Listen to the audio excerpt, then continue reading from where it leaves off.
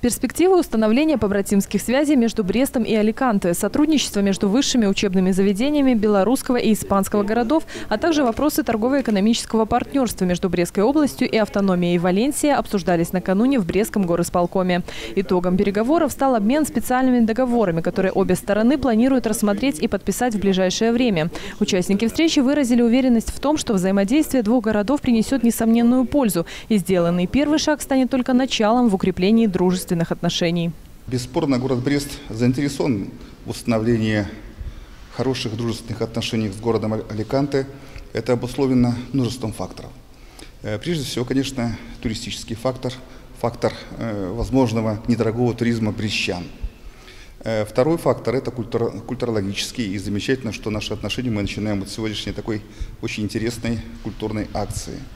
Ну и третий фактор, конечно, нам надо как-то выходить на испанский рынок, потому что соотношение нашего экономического взаимодействия между Брестской областью, между городом Брестом и Испанией, естественно, пока не в нашу пользу. Поэтому надо искать точки соприкосновения, что мы, белорусы, что мы, брещане, можем продавать в городе Аликанте, вообще в провинции Валенсия. Ознаменовалась встречей масштабным культурным мероприятием. Состоялась торжественная церемония передачи в дар городу над Бугом 40 работ изобразительного искусства, выполненных испанской гражданкой, к слову, матерью кандидата на пост почетного консула Хосефа Месса Гарсия. Картины выполнены в стиле православной и католической иконописи. Решение об их передаче женщина приняла в знак дружбы с посольством Беларуси во Франции и Испании. К сожалению, быть лично на мероприятии она не смогла, однако передала свои самые теплые пожелания белорусам через своего сына.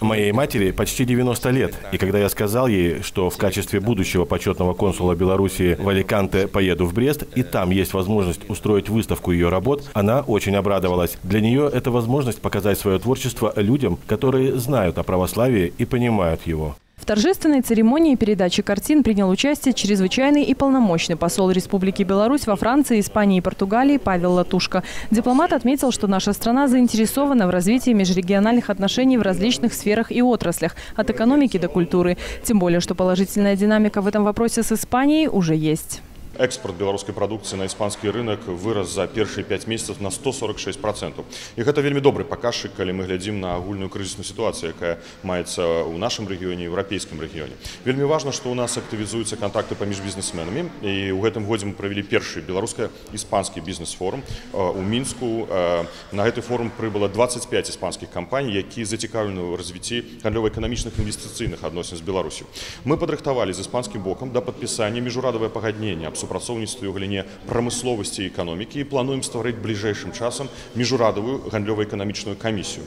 Мы гатовы таксама падпісаць пагадненне дзяржаўны камітэт па стандартызацыі сертыфікацыі Беларусі з адпаведным дзяржаўным агенствам Іспаніі па пытаннях стандартызацыі сертыфікацыі нашых тавараў, што з'яўляецца ну, важнай перадумовай для арганізацыі экспорту беларускай прадукцыі і іспанскай прадукцыі ўзаемна на нашыя рынкі. Анастасія Страбко, Дмитрий Хрущ, Дмитрий Лазарчук, телекомпания Бук ТВ.